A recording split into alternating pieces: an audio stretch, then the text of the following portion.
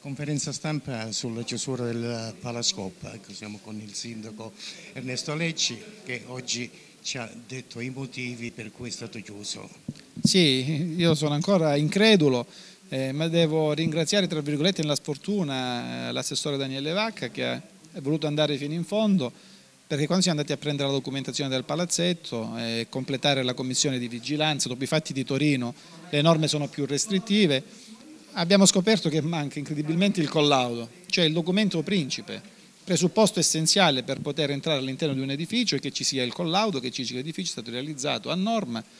Eh, per il palazzetto dello sport non esiste nessun collaudo e quando abbiamo chiesto a un tecnico di fare un collaudo eh, e quindi di fare tutti quelli che sono i rilievi e le indagini per capire se la struttura dal punto di vista strutturale eh, può essere collaudato, se vanno fatti dei lavori di, di rinforzamento, ci siamo accorti che eh, i pilastri, i pali a sostegno di questo palazzetto eh, che dovrebbero sostenere un peso di circa 118 tonnellate attualmente dalle prove possono reggere un peso di sole 20 tonnellate. Quindi il palazzetto dello sport è in piedi per puro miracolo come è successo purtroppo in Italia con la morte di tanti bambini, come è successo per il ponte Morandi, alcune strutture sono in piedi magari da tantissimi anni, si pensa che non cadranno mai e poi purtroppo succede l'evento tragico, eh, senza collaudo chiaramente il palazzetto non può essere aperto, per adeguarlo dal punto di vista sismico, per metterlo a norma, stiamo cercando di capire quanto bisognerà spendere, se è una cifra accessibile lo faremo.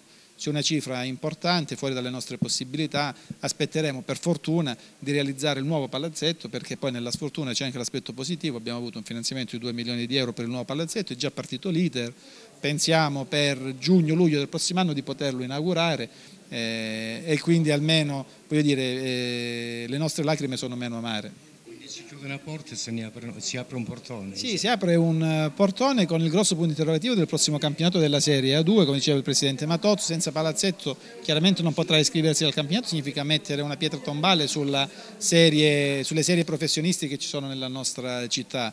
Eh, questo lo vogliamo evitare, quindi già domani andrò in Regione Calabria, o cercheremo altri tipi di finanziamenti possibili per adeguare, almeno per allungare la vita nominale del palazzetto almeno altri due o tre anni e poterlo utilizzare ed evitare che così lo sport che si fa al suo interno sparisca da soverato. Lei pensa che questo si possa fare? Beh, se già un primo incontro con i tecnici strutturisti l'abbiamo avuto, se vengono confermati gli importi eh, sotto i 100.000 euro, penso che come comune, pur essendo un comune in predissesto, che veramente non abbiamo i soldi per la carta da fotocopia che compro io per la mia stanza, figuriamoci per rifare un palazzetto, cercheremo il modo di trovarli da qualche parte, quindi sono fiducioso. Se invece i lavori superano queste cifre e non è nella nostra disponibilità o la Regione Calabria o troviamo qualche altro finanziamento o non credo sarà possibile riaprirlo. Certo che in un momento delicato per la società, ecco, parliamo della società del voglio soverato, questo non ci voleva, però purtroppo giustamente come dice lei deve guardarsi le spalle perché può succedere qualsiasi cosa da un momento all'altro. Sì, è stato un fulmine a ciel sereno, però è meglio essere ricordati come il sindaco l'amministrazione che è stata costretta a chiudere il palazzetto piuttosto che come l'amministrazione che ha lasciato morire sotto il palazzetto delle persone o dei bambini ancora peggio. Presidente Matozzo, abbiamo assistito alla conferenza stampa del Sindaco sulla chiusura del palazzetto. Certo che in un momento delicato come quello dei playoff forse è veramente un danno gravissimo. Ma guarda Mimmo, dopo tutto quello che abbiamo fatto quest'anno con una squadretta che sta dimostrando di essere all'altezza della situazione, mi trovo io con le mani legate. Non so più che cosa fare, anche perché probabilmente Palmi per la prossima partita contro Ravenna è occupato. Dove vado a giocare io? Non lo so, non so, ecco perché io ho chiesto e mi avete ascoltato tutti, datemi una mano, datemi una mano a trovare l'opportunità di andare in un palazzetto dove si possa giocare, datemi una, datemi una mossa, difendete, credo io, non Matozzo, non c'entra niente, difendete la pallavolo di Soverato che è in A2, che sta facendo bene, che si sta giocando i playoff. Ho bisogno di avere un supporto per poter venirne fuori, io non so più che cosa devo fare. Intanto fino a qualche settimana fa eh, si è assunta la responsabilità l'amministrazione comunale per farvi giocare al Palascoppa anche se magari le condizioni forse non c'erano, però molto probabilmente si sono trovati alla stretta di doverlo fare questo. Non ci piove, io non accuso nessuno perché la situazione è quella che è, però è altrettanto vero che adesso bisogna trovare un rimedio a questa situazione tragica che c'è. Io in questo momento qua l'unica cosa che mi viene da dire, beh, mollo tutto. Non c'è bisogno di spendere soldi per i playoff, se poi io domani la prospettiva di giocare a Sorato non ce l'ho, dove vado a giocare?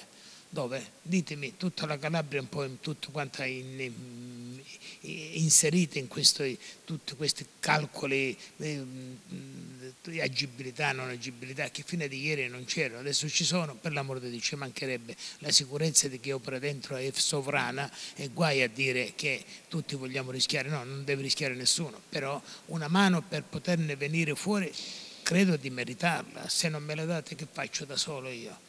Caccio in continuazione soldi, vado a fare prestiti, ma fino prima o poi questi prestiti e questi, e questi soldi finiranno e allora finirà anche la pallavolo, è un peccato. Ecco, infatti questo ci chiediamo quale sarà la sorte del pallavolo soverato. So, è, un, è, un, peccato perché dieci anni di Serie 2 fatta con tantissimi sacrifici sulle spalle di questo signore e di qualche altro amico che mi ha dato una mano, che io ringrazio sempre e comunque per quel poco che mi hanno dato, però io adesso sono solo, sono solo. Ecco perché ho chiesto aiuto anche all'amministrazione comunale, anche alla politica, affinché la politica possa mettermi nelle condizioni di disputare queste partite con minore dispendio di, di, di quattrini. Io mi ricordo in passato quando c'era da andare a fare trasferte, da andare a giocare altrove, l'amministrazione comunale si muoveva. Io non ho preso, dico, un centesimo di aiuto per queste trasferte che sto facendo a Palme.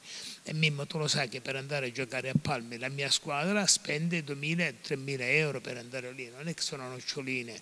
Adesso per esempio noi dobbiamo andare a prendere il Taraflex portato a Palme con tantissimi sacrifici di natura fisica per prendere questi 20 rotoloni. Adesso li dovremmo prendere, portare, rimettere al palazzetto di Soverato lì, eh, piazzarli lì e poi aspettare di sapere dove dobbiamo portarli per andare a giocare.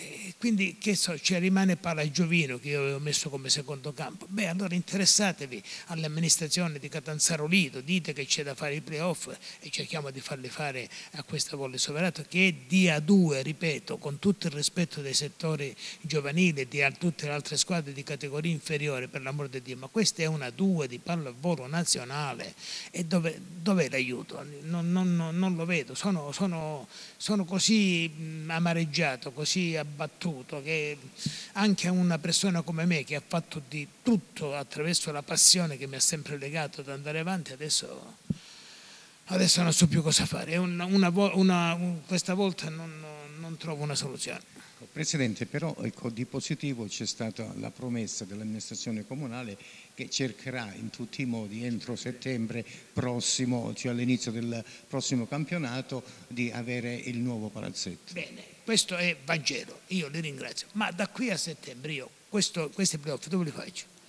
Io domenica, adesso domenica andiamo fuori, andiamo a San Marignano ed è fuori, ma la prossima partita ce l'ho con Ravenna, dove gioco? Sulla spiaggia? Dove? Dove metto io un campo di pallavolo? Ditemelo.